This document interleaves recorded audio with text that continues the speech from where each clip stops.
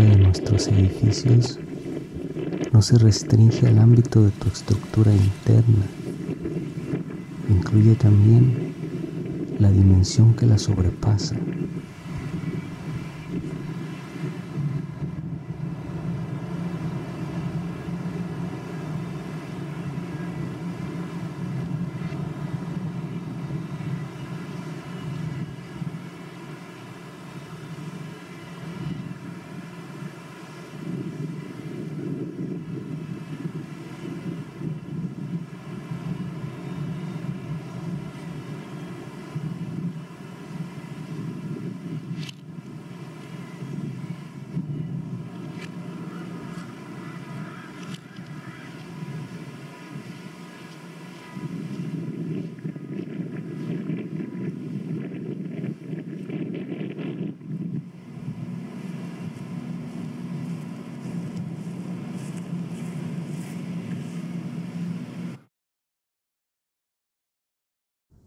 Ir tras las huellas del pasado implica toparse con rastros de sueños,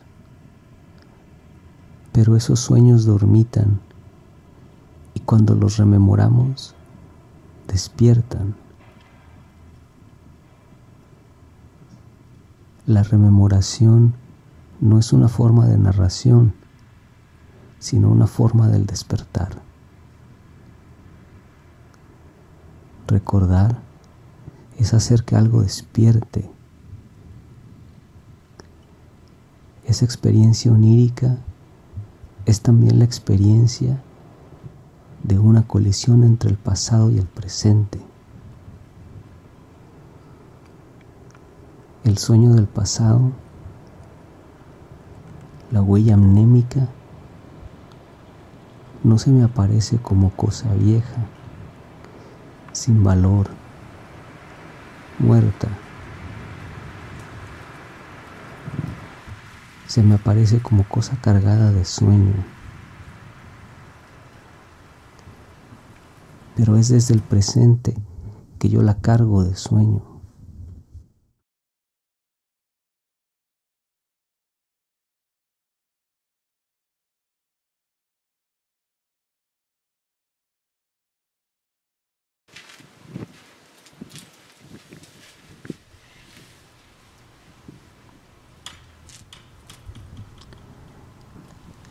Cargo de sueños una calle cuando entro en ella, porque la valoro oníricamente desde el presente. Entonces, el sueño del pasado es citado en el presente y al citarlo lo reactualizo.